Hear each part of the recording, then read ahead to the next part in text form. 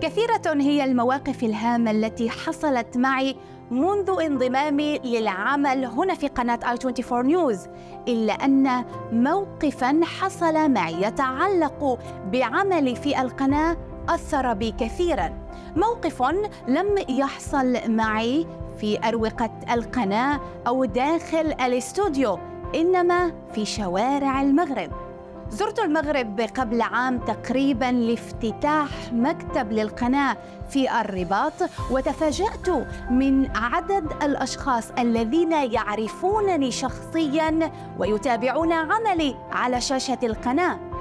عندما كنت أتجول خلال رحلتي في العاصمة الرباط والدار البيضاء ومدينة فاس ومراكش الكثير من الأشخاص توجهوا لي وتحدثوا معي عن قناة آي 24 نيوز.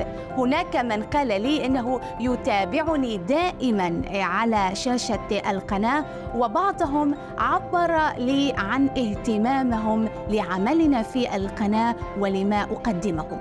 كانت هذه لحظات جدا مؤثرة بالنسبة لي وبمثابة تحقيق حلم خاصة وأنني لمست تقدير وحب الناس لعملي في قناة آي 24 نيوز وبعد عودتي من هذه الرحلة المميزة اقترحت على إدارة القناة أن نخصص برنامج يتعلق بقضايا دول المغرب. وبالفعل منذ أشهر بدأنا ببث برنامج الصحراء الكبرى البرنامج الذي يطرح ويناقش أبرز القضايا والملفات المتعلقة بالشمال الإفريقي. الحب والتقدير الذي لمسته في المغرب جعلني أن أسلط الضوء أكثر وأكثر على ملفات هذه المنطقة.